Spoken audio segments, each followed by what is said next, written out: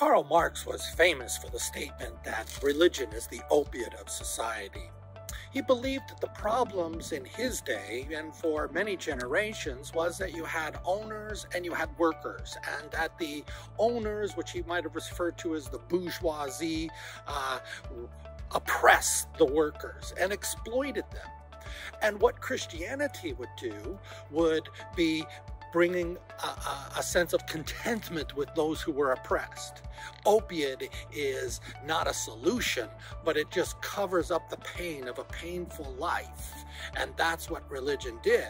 Now, he didn't write extensively that the problem is get rid of religion. So we can bring in the socialist Marxist ideology but rather he believed it was something that added to the problem. That's why a lot of the countries that went socialist and Marxist, they uh, Uh, moved religion aside because they believed that it made people feel a sense of contentment and no hope, but don't, yeah, there is hope, but it's not here, it's in heaven. Well, this is in contrast to what Jesus said. Jesus said that you will know the truth and the truth will set you free. The truth about what blocks humanity from connecting with the Creator. What blocks us, according to Jesus, was our nature of missing the marks of life, of not like Karl Marx, but the life of loving others and loving God. And that to know the truth would come through the gospel, a brutal execution of a man, the true Son of God, and would set us free.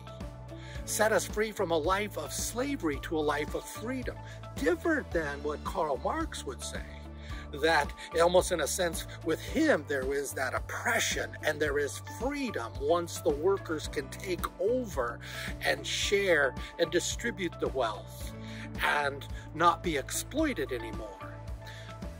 God sets us free. That's what he wants to do.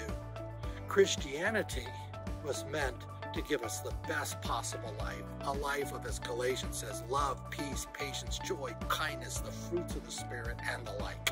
Hey, if this video has been helpful for you and you'd like to receive uh, For the Curious, again, we put out two of these a week, and you can do that by pressing like, subscribe, follow. Uh, you can check out our website here below.